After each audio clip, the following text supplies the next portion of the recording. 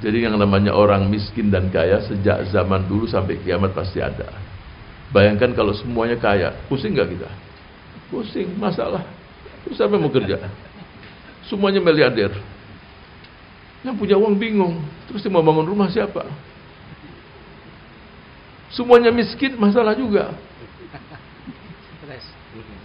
Semua nggak pada punya uang. Hanya kerjanya senyum sana sini. Apalagi kalau bendahara, bendahara harus ada uangnya. Kalau hanya senyuman-senyuman, berangkasnya nggak ada. Jadi ketika ada yang kaya, ada yang miskin, ada yang tinggi, ada yang pendek, ada yang warnanya begini, sunatullah. Laulah tilaful andar labaratis sil'ah. Ini ungkapan kalau bukan karena perbedaan selera, itu barang-barang nggak ada yang laku di pasar. Tapi perbedaan selera, ada yang suka warna ini, warna, laku semuanya. Jadi selera yang berbeda itu restoran laku. Bayangkan kalau selera satu, restoran satu aja di kota nggak ada yang lain. Maunya apa nasi apa itu yang suka nasi uduk semuanya. Setiap hari pagi, siang, malam uduk, uduk, uduk terus. Untuk bayangkan pus, nasinya juga pusing. Jangankan orangnya, itu nasi juga bingung semua masa uduk semua. Ada yang suka nasi kuning, nasi uduk, nasi ini, nasi apa enggak tahu macam-macam. Itu selera. Laulah tilaful andar la baratisilah. Jadi selera yang berbeda.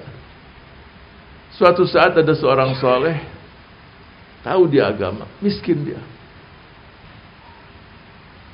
Sampai sudah nggak ada apa-apa lagi di rumah kecuali tinggal rumah doang. Terakhir dia mau jual rumahnya untuk ngasih makan anak-anaknya. Dan rumahnya bukan rumah mewah, bayangkan sudah nggak punya ayah, rumah sederhana. Ketemu dengan seseorang di masjid, bicara-bicara, udah jangan deh. Ini anak kasih roti, dikasih madu tengahnya, udah bawa pulang buat anak kamu. Yang penting bisa makan, jangan jual rumah. Di daerah itu yang namanya bawa roti, nggak pakai dibungkus. Jadi ketika lewat ada orang miskin yang lain lihat juga dilihat, duh, dia ingat anak-anak miskin, tapi ini kelihatannya lebih miskin juga. Yatim lagi dengan ibunya, dilirik lagi roti itu, nggak bisa ditutup-tutup. Ya udah dikasihkan. Pulang ke rumah, anak-anak pada tanya mana makan pak? Ya udah nggak ada lagi.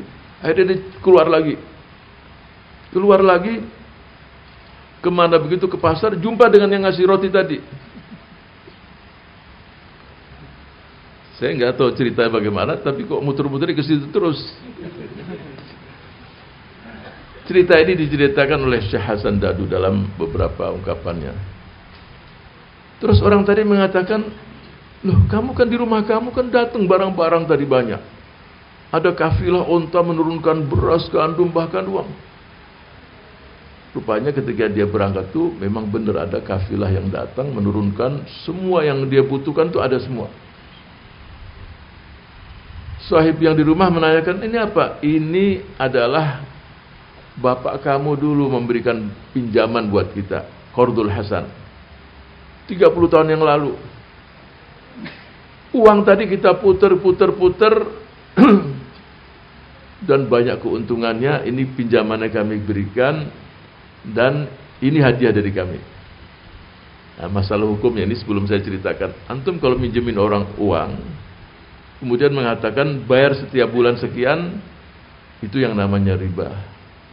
Tapi kalau meminjamkan uang orang satu juta, dua juta, setelah itu dia bisnis, dia untung, kemudian dia memberikan hadiah yang tidak ada syarat, itu dibolehkan. Ya, asal dengan ada syarat. Jadi setelah 30 tahun itu ketika dia melihat harta banyak semua malah nangis dia. Bukan terus eh, main haitsulah, malah nangisnya kenapa?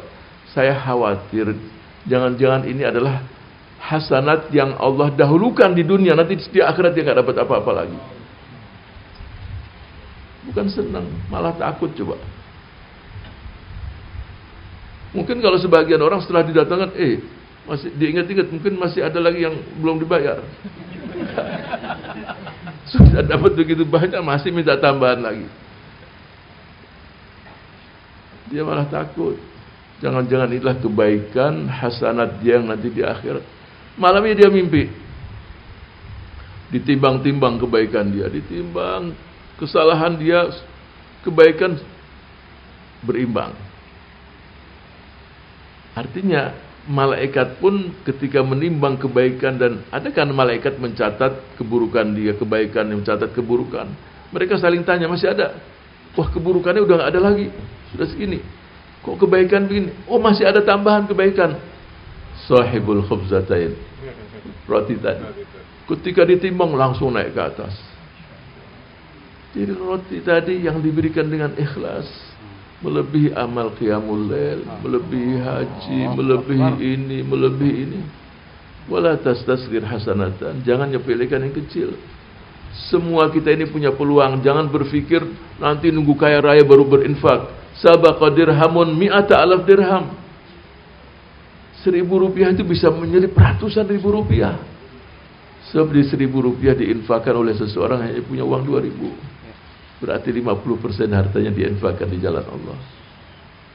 Sedangkan yang ratusan ribu itu dia punya uang miliaran. Olehnya itu yang seribu tadi bisa menyelip yang seratus ribu. Apalagi kalau diberikan dengan keikhlasan.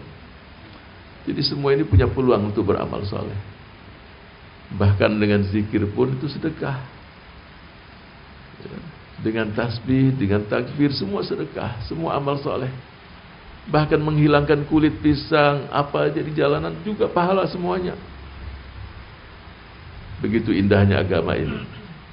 Kunna na'lamu wala na'mal. Kita banyak tahu tapi tidak mengamalkannya. Mudah-mudahan bukan yang ada di tempat ini. Insya Allah kita tahu dan kita akan amalkan biiznillah.